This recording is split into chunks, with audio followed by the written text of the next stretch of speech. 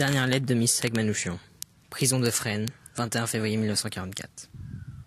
Ma chère Mélinée, ma petite orpheline bien-aimée. Dans quelques heures, je ne serai plus de ce monde.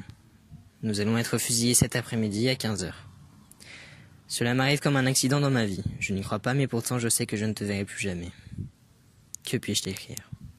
Tout est confus en moi et bien clair en même temps.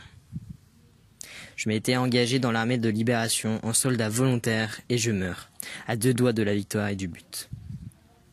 Bonheur à ceux qui vont nous survivre et goûter la douceur de la liberté et de la paix de demain. Je suis sûr que le peuple français et tous les combattants de la liberté sauront honorer notre mémoire dignement.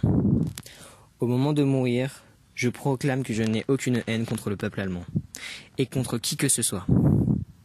Chacun aura ce qu'il méritera comme châtiment et comme récompense. Le peuple allemand et tous les autres peuples vivront en paix et en fraternité après la guerre, qui ne durera plus longtemps. Bonheur à tous. J'ai un regret profond de ne pas t'avoir rendue heureuse. J'aurais bien voulu avoir un enfant de toi, comme tu le voulais toujours. Je te prie donc de te marier après la guerre, sans faute, et d'avoir un enfant pour mon bonheur, et pour accomplir ma dernière volonté. Marie-toi avec quelqu'un qui puisse te rendre heureuse.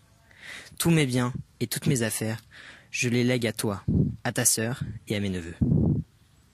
Après la guerre, tu pourras faire valoir ton droit de pension de guerre en tant que ma femme. Car je meurs en soldat régulier de l'armée française de la libération. Avec l'aide des amis qui voudront bien m'honorer, tu feras éditer mes poèmes et mes écrits qui valent d'être lus. Tu apporteras mes souvenirs si possible à mes parents en Arménie.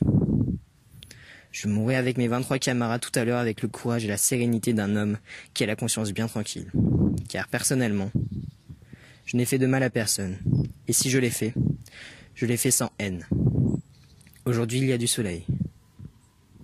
C'est en regardant le soleil et la belle nature que j'ai tant aimée que je dirai adieu à la vie et à vous tous. Ma bien chère femme et mes bien chers amis. Je pardonne à tous ceux qui m'ont fait du mal ou qui ont voulu me faire du mal sauf à celui qui nous a trahis pour acheter sa peau, et ceux qui nous ont vendus. Je t'embrasse bien fort, ainsi que ta sœur, et tous les amis qui me connaissent, de loin ou de près. Je vous serre tous sur mon cœur. Adieu. Ton ami, ton camarade, ton mari. Manouchian Michel. PS. J'ai quinze mille francs dans la valise de la rue de Plaisance. Si tu peux les prendre, rends mes dettes et donne le reste à Armen. Isaac Manouchian.